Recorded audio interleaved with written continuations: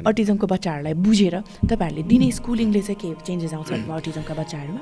Definitely अब पहिला चाहिँ हामी के प्रयास गर्छौँ भन्दाखेरि अटिजम भएका बालबालिकाहरूले पहिला छिटोभन्दा छिटो पहिचान गर्नु पऱ्यो होइन? यसमा अभिभावकहरूले विशेष ध्यान दिनुपर्ने कुरा हो होइन?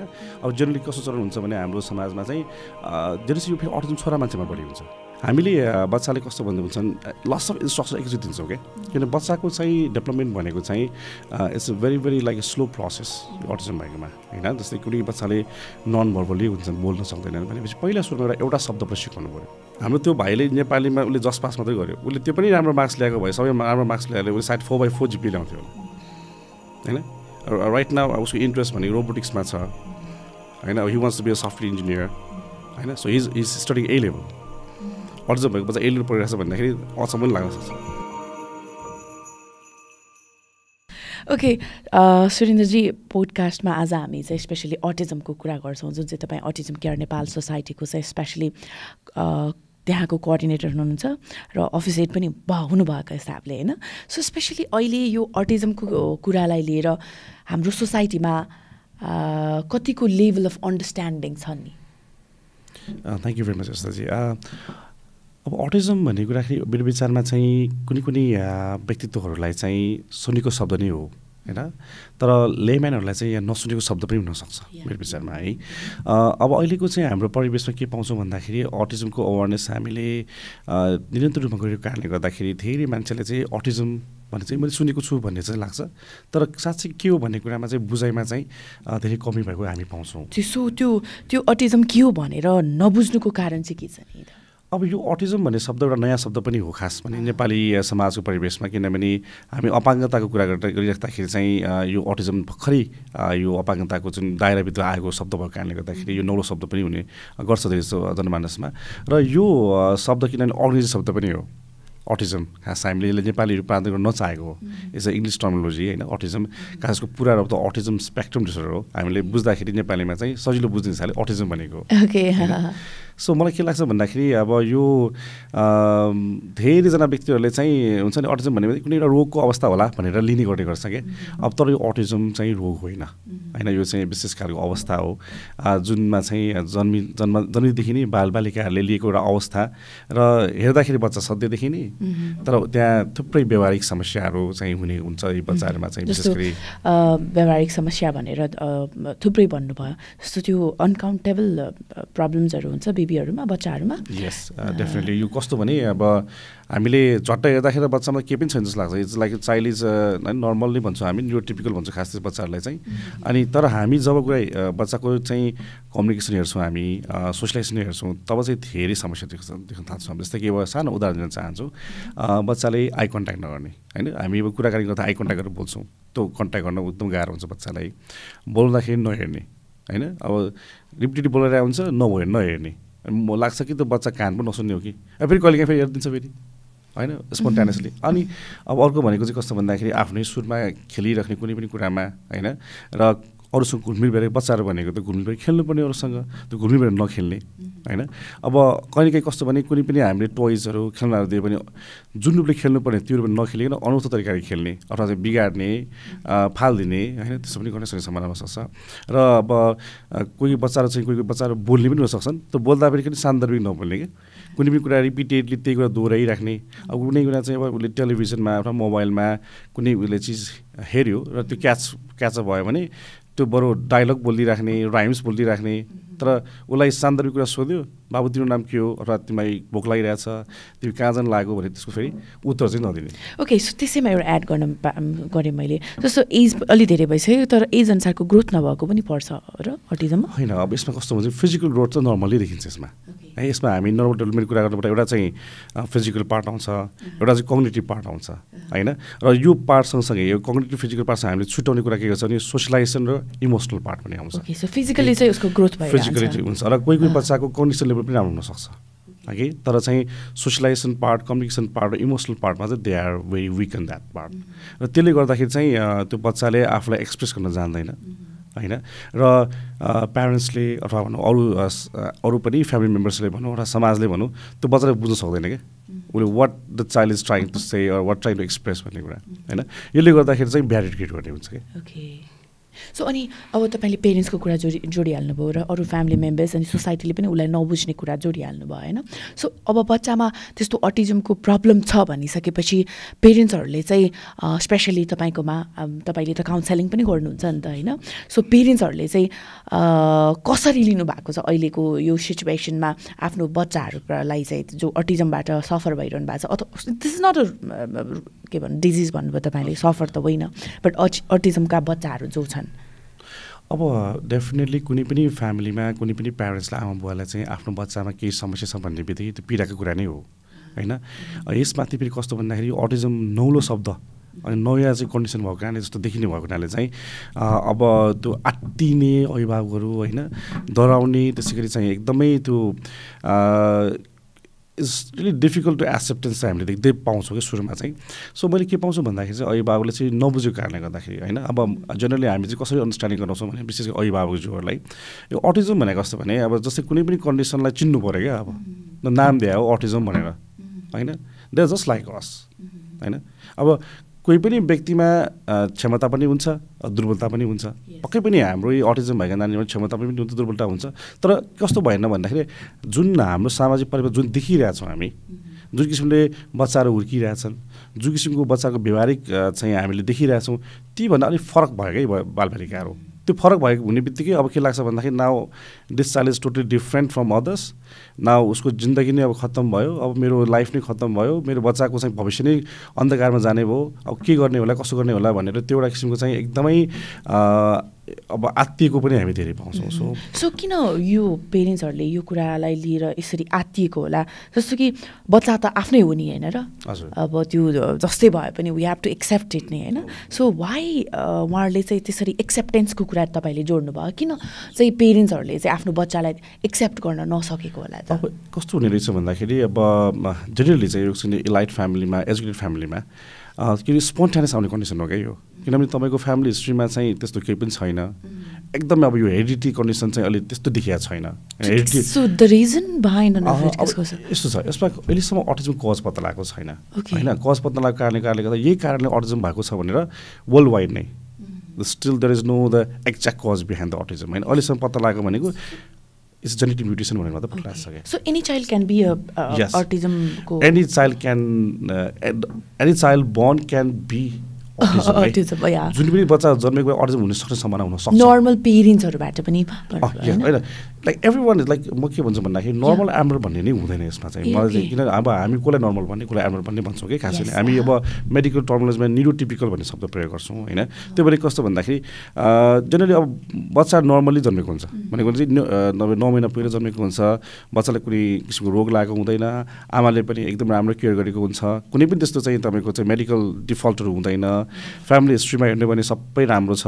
होइन? सबै वेल एजुकेटेड फ्यामिलीहरू होइन? सबै चाहिँ राम्रो छ। तर अकस्मात अकस्मात बच्चा अटिजम भनेर जन्मिँदाखेरि त त्यो फ्यामिलीलाई एसिड गर्नु पक्कै पनि गाह्रो हुन्छ। त्यो अब हामीलाई पनि पर्दाखेरि पनि पक्कै पनि त्यो डिफिकल्ट नै हो। किनभने इट्स लाइक अब एउटा यसमा त बच्चा भनेपछि आमा बुवाको ठुलो सपना उसको उनीहरूले चाहिँ धेरै कुरा चाहिँ बच्चालाई सोचेर चाहिँ बुनेका हुन्छन् होइन? ती कुराहरू चाहिँ उहाँहरूको चाहिँ एउटा चकनाचुर भएको जस्तो चाहिँ देखिन्छ त्यो हेर्दाखेरि चाहिँ होइन? तर यो न यो बुझाइको कमीले गर्दाखेरि म भन्छु किन प्यारेन्ट्सले यसलाई चाहिँ अटिजमा रियली बुझ्नु भएको छैन त्यो परिवेशमा। त्यस कारणले गर्दाखेरि चाहिँ लाग्छ कि आइएम लाइक टोटली लस्ट न what I'm to do what I'm to do with next with my child होइन? मैले बच्चालाई नबुझ्नु सकेको छु न उसले भन्ने कुरा मैले केही कुरा थाहा पाउन सकेको छु मैले न उसलाई चाहिँ सही तरिकाले सिकाउन सकेको छु। त्यो लस अफ थिङ्सले त्यो त्यो आमा बाबालाई पिरोल्ने हुन्छ यसमा चाहिँ त्यस कारणले पनि डिफिकल्टिज हो। सो जस्तो अब जस्तो पेरेन्ट्सहरूले एक लेभलको ल हाम्रो बच्चा चाहिँ अटिजमबाट चाहिँ सफर भइरहेछ भनेर अनि तपाईँहरू जस्तो इन्स्टिट्युसनमा ल्याएर अटिजमको एक लेभलको के भन्छ त्यसलाई काउन्सिलिङ गरेर अनि त्यो अब अटिजमको बच्चाहरूलाई बुझेर तपाईँहरूले दिने स्कुलिङले चाहिँ के चेन्जेस आउँछ अटिजमका बच्चाहरूमा? डेफिनेटली अब पहिला चाहिँ हामी के प्रयास गर्छौँ भन्दाखेरि अटिजम भएका बालबालिकाहरूले पहिला छिटो भने छिटो पहिचान गर्नु पऱ्यो होइन? यसमा अभिभावकहरूले विशेष ध्यान दिनुपर्ने कुराहरू होइन? अब जेनरली कस्तो चलन हुन्छ भने हाम्रो समाजमा चाहिँ धेरै यो फेरि अटिजम छोरा मान्छेमा बढी हुन्छ है? अनि फेरि के हुन्छ भने समाजमा छोरा मान्छेहरू अलिक ढिलाइ बोल्छन् होइन अलिकति त्यस्तै हुन्छ नि छोरा मान्छेहरू भनेपछि अनि कुदिरहेको हुन्छ अनि पछि ढिला भएको कुराहरू धेरै नै छ। त्यस कारण हामी के चाहन्छौँ भन्दाखेरि छिटोभन्दा छिटो पहिचान्नुहोस् पहिला सुरुमा होइन?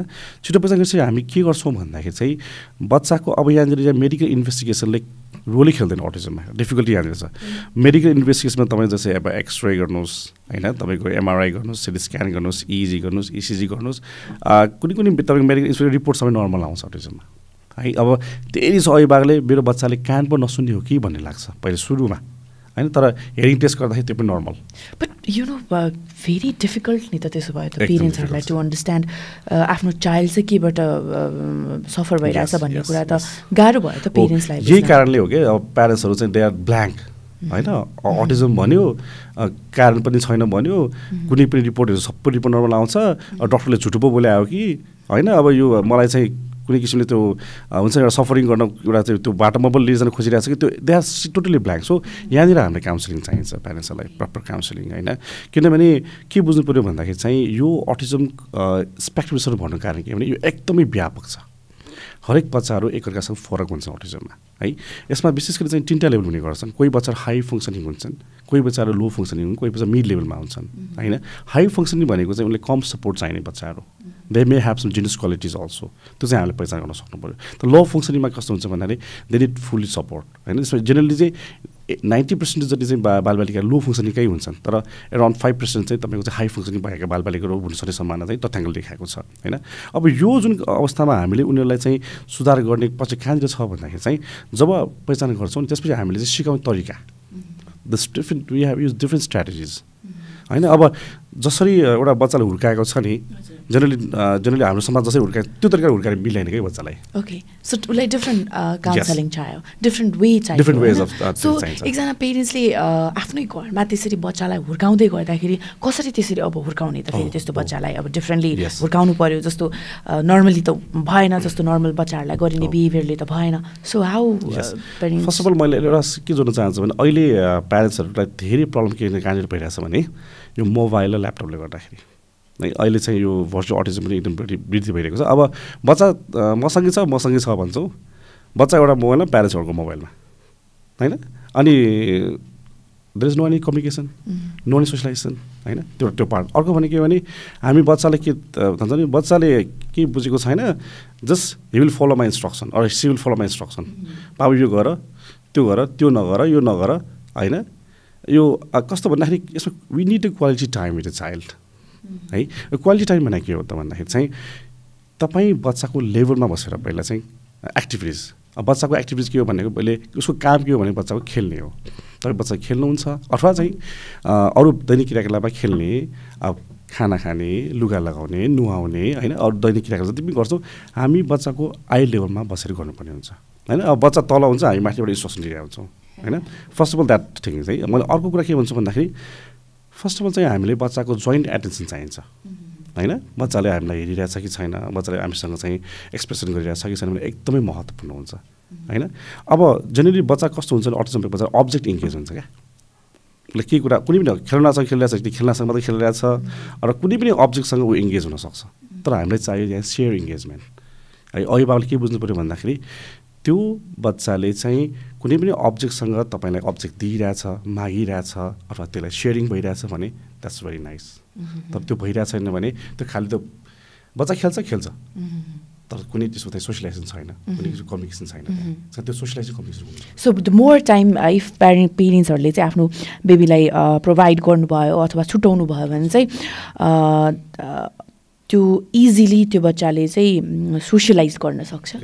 More time in the right way होइन? किनभने सही तरिकाले पनि काम गर्नु पऱ्यो बच्चासँग कि? अब सबै चाहिँ दिएर भएको त सही तरिकाले काम गर्नु भएको छैन भने चाहिँ फेरि त्यो इम्प्रुभमेन्ट हुँदैन। त्यसैले त्यो इज इम्पोर्टेन्ट अर्को मैले एउटा सानो कुराको के भन्न चाहेँ भन्दाखेरि चाहिँ हामीले बच्चाले कस्तो भन्दा भन्छन् लस अफ इन्स्ट्रक्सन एकचोटि दिन्छौँ क्या किन बच्चाको चाहिँ डेभलपमेन्ट भनेको चाहिँ it's a very very like slow process autism भएकोमा होइन? जस्तै कुनै बच्चाले नन भर्बली हुन्छन् बोल्न सक्दैनन् भनेपछि पहिला सुरुमा एउटा एउटा शब्द पनि सिकाउनु पऱ्यो।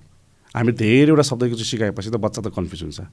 अनि दि चिल्ड्रेन आर फेरि भिजुअल लर्नर है भिजुअल भनेको चाहिँ उनीहरूले चित्रको माध्यमबाट अथवा चाहिँ के हेरेर बढी सिक्छन् त्यस कारणले गर्दा हामीले के गर्नु पऱ्यो भन्दाखेरि कुनै पनि डेमोन्स्ट्रेसन गरेर एउटा पिक्चरको माध्यमबाट मोबाइलमा बढी झुन्नु कारण त्यहाँनिर हो कि mobile there there is a visual support there नि त होइन? तर उसले राइट कुरा चाहिँ त्यहाँ हेरेको हुनु पऱ्यो र हामीले त्यो कम्युनिकेसन चाहिँ भइरहेछ मानौँ हामीले उसलाई चाहिँ रियल एप्पल देखाएर a apple see apple at the mobile होइन? मोबाइल एप्पल देखायो भनेपछि त्यसले रिलेट गर्न जान्छ। र हामीसँग उसले तर उसले खाली मात्रै हेरेर हेरेको हेरेको रहेछ भने चाहिँ त्यहाँ चाहिँ वान वे भयो त्यो होइन?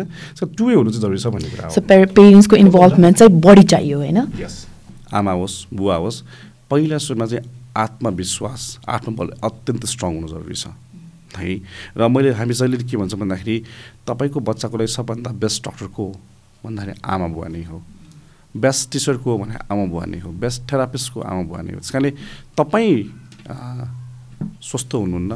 तपाईँ तनाव लिइरहनु भएको छ तपाईँ मेडिसिन तपाईँलाई हेर्ने मान्छे अर्को चाहियो तपाईँलाई काउन्सिलिङ चाहिरहेको तपाईँले कसरी चाहिँ तपाईँले राम्रो हेर्न सक्छ? त्यसैले त्यो वेमा हामी उहाँलाई एउटा एकदमै स्ट्रङ बनाउने प्रयास गर्छौँ। सो सुरेनजी जस्तो बच्चाहरूलाई चाहिँ अब सपोर्ट गर्दाखेरि चाहिँ घरमा कतिसम्मको सप सपोर्ट गर्ने र कस्तो बच्चाहरूलाई चाहिँ केयर सेन्टरमा राख्ने यो कुरा चाहिँ तपाईँले पनि क्लियर गरिदिनुहोस् फर्स्ट अफ अल चाहिँ बच्चाहरू भनेको चाहिँ अभिभावकसँग नै बढिरहन्छ। Okay so within twenty four hours यदि स्कुलमा राख्नुहुन्छ भने पनि स्कुलमा भनेको म्याक्सिमम् भनेको six seven eight hours maximum होइन।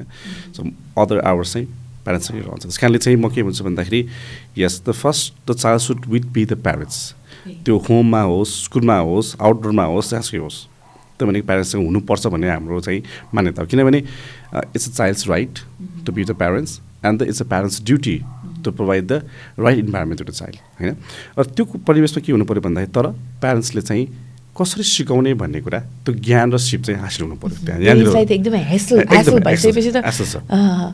दिस इज द हाउ किनभने नेपालको परिवेशमा है? किनभने अरू कन्ट्रीमा तपाईँको फुल सपोर्ट हुन्छ हेर्नुहोस्। है? गभर्मेन्टले फुल सपोर्ट गरिरहेको हुन्छ पर्सनल एसिस्टेन्ट दिइरहेको हुन्छ। नेपालको परिवेशमा we are very sad to say that होइन we don't have like personal assistant support and all the burden need to by taken to by parents सबै जिम्मेवारी अभिभावकमै छ। अब हामी विदम्बनामा छौँ कि? अहिले अभिभावकले बाहेक अरूले गर्ने अवस्थै छैन। त्यस कारणले गर्दाखेरि मैले अभिभावकलाई जोत दिइरहेको छु यसमा है? अभिभावक सरी फर द्याट किन अभिभावकले सबै लिनुपर्ने नै अवस्था छ नेपाल परिवेशमा। सो म के भन्छु भन्दाखेरि इन्स्टिट्युसनमा लाने या कुरो लाने भनेको छ भने त्यो डायग्नोसिस प्रोसिडरको लागि तपाईँले चाहेको कुरा सिक्नको लागि त्यो स्किल लर्न गर्नुको लागि तपाईँले सेन्टरमा लाने हो र कुनै पनि स्पेसलाइज सेन्टरमा लाने हो जहाँ तपाईँले आफ्नो बच्चाको जुन समस्याहरू छन् व्यवहारिक च्यालेन्जेसहरू छन् त्यसलाई कसरी हामी सरल तरिकाले समाधान गर्दै जाने भन्ने कुरा त्यो सिक्नको लागि तपाईँ जाने हो सेन्टरमा है? अब यो कस्तो हुन्छ भन्दाखेरि इट्स अ निड बेस हुन्छ क्या? कोही कोही बच्चा चाहिँ तपाईँको मैले अघि पनि भने एउटा लेभल हुन्छ भनेर हाई फङ्सनिङ चाइल्ड हो भने सर्ट टाइम पिरियडमा पनि बच्चाको ड्रास्टिक इम्प्रुभ हुनसक्छ। तर लो फङ्सनिङ बच्चा भने it takes loss of time so we need to have loss of patience बच्चासँग है? त्यसैले हामी के गर्छौँ भने फेज वाइज चाहिँ पहिला उहाँलाई थेरापी इन्टरभेन्सनमा इन्भल्भमेन्ट गराउँछौँ विभिन्न थेरापीहरू चाहिन्छ। It's a multidisciplinary approach we work a team team है। त्यसमा तपाईँको अकुपेसन थेरापी भन्छौँ सेन्स इन्डिकेसन थेरापी भन्छौँ बिहेभियर थेरापी भन्छौँ कम्युनिकेसन थेरापी भन्छौँ त्यो विभिन्न थेरापी अब त्यो पाँच छजनालाई एकचोटि काम गर्नु कति गाह्रो हुन्छ? तर त्यो पाँच छवटा कुरा चाहिँ एकजनालाई सिकाउने हो क्या हामीले। द्याट्स अ प्यारेन्ट्स है? त्यो त्यो प्यारेन्ट्सले एप्लाई गर्ने त्यसपछि।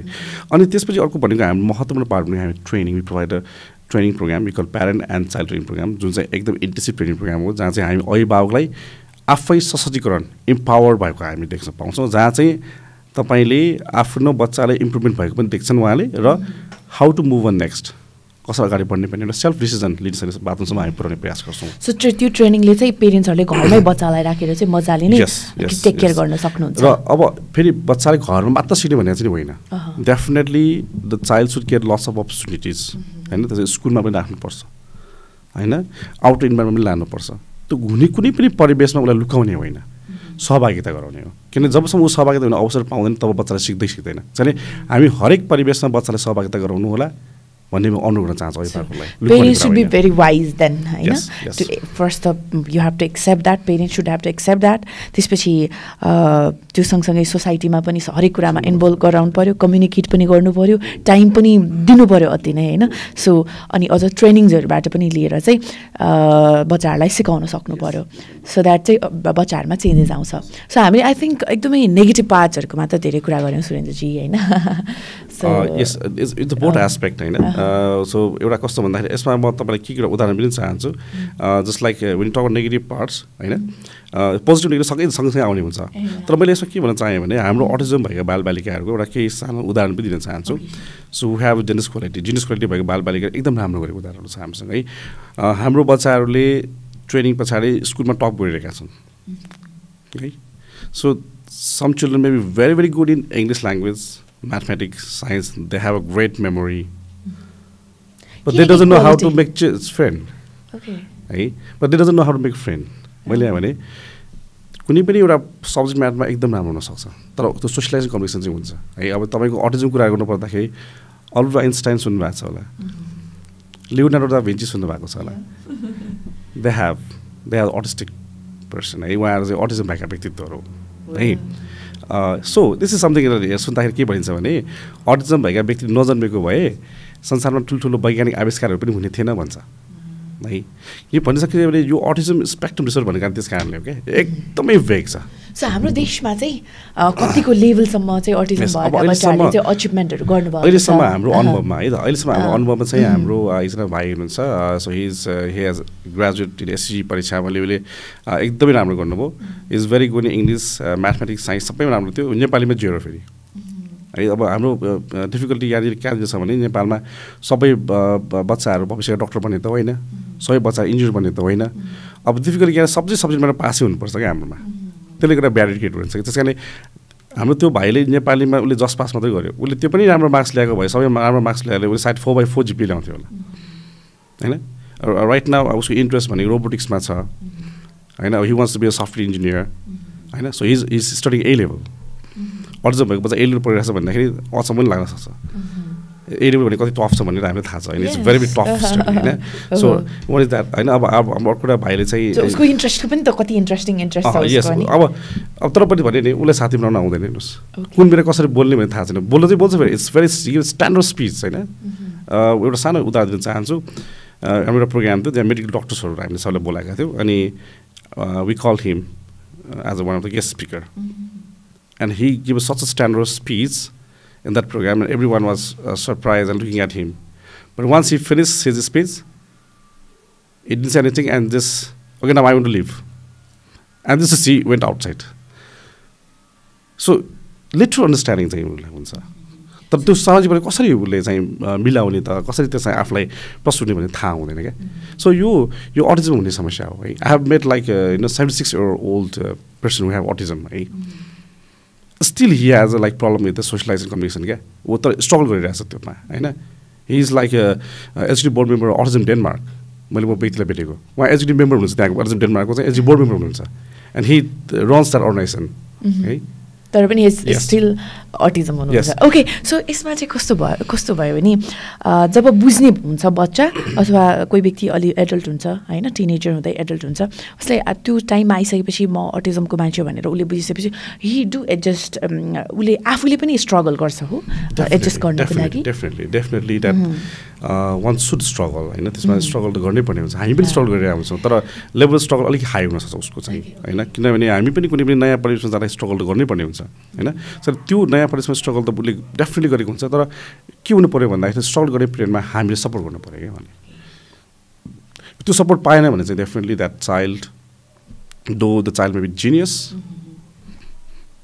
it's useless so अब हामी प्रोग्रामको कन्क्लुडमै आइपुगेका छौँ होइन सुरेनजी। सो मलाई पनि नयाँ नयाँ कुरा नै थाहा भयो स्पेसली अटिजम भन्ने सुन्या हो। It's a word but never her like त्यो एक्सपिरियन्स थिएन कि यसको यस्तो यस्तो भन्ने कुरा भनेर। सो आई थिङ्क धेरैलाई नलेज पनि भयो। सो पेरेन्ट्सहरूलाई चाहिँ अब स्पेसली अब हाम्रो सम्बन्धका कुरामा हामी पेरेन्ट्सको रिलेसनसिप कसरी राम्रो बनाउने भन्ने कुराहरूमा कुरा गर्छौँ अथवा बच्चा र पेरेन्ट्सको कुराहरूलाई जोडेर गर्छौँ होइन। सो पेरेन्ट्सको कुराहरूमा चाहिँ पेरेन्ट्सहरूले के के कुराहरूलाई चाहिँ सर्ट नोटमा तपाईँले भनिदिनुहोस् न के के कुराहरूलाई चाहिँ यदि एक्सेप्ट गर्नुभयो बच्चाहरूबाट अटिजमबाट भएका बच्चाहरूबाट र इम्प्लिमेन्ट गरिदिनु भयो भने चाहिँ बेटर फ्युचर चाहिँ त्यो बच्चाको हुन्छ र he can compete with normal kids भन्ने चाहिँ उसले पेरेन्ट्सले चाहिँ फिल गराउन सक्नुहुन्छ। ओके सो फर्स्ट म के भन्न चाहन्छु भन्दाखेरि अटिजमलाई छिटोभन्दा छिटो पहिचान गर्नुलाई म तिनवटा कुरा भन्छु। ओके मेरो बच्चाले किन बोल्दैन? मेरो बच्चाले बोलाउँदा किन हेर्दैन? मेरो बच्चाले अरूसँग किन खेल्दैन? तपाईँको बच्चालाई अटिजम त छैन। The first and foremost thing next thing is यदि तपाईँको बच्चा अटिजम छ भने now you have to go to right centre in the right time please don't wait for a long time दोस्रो कुरा अब के भन्छ let's not compare with other children है we don't want any competition with any one every person is different every person have their own qualities They are unique. they are unique. So try to explore the abilities, not disabilities in your child. तपाईँको आफ्नो बच्चाको क्षमतालाई पछाउने प्रयास गर्नुहोस् र त्यसलाई वृद्धि गर्ने प्रयास गर्नुहोस् र त्यो क्षमतामा देखेर त्यो दुर्बलतालाई न्यूनीकरण गर्ने प्रयास गर्नुहोस् र तपाईँको आफ्नो हौसलालाई कायम गर्नु with and have a patience please have a patience हत नआतार्नुहोस् नआतिर्नु होला होइन and let's work in a team म त्यति भन्न चाहन्छु। किनभने यो एकजना व्यक्तिले मात्र नियन्त्रण गर्न सक्ने अवस्था होइन। सबैजना मिलेर गर्नुपर्ने हुनाले चाहिँ यदि if you could do then we can have a good relationship and we can overcome this all obstacles.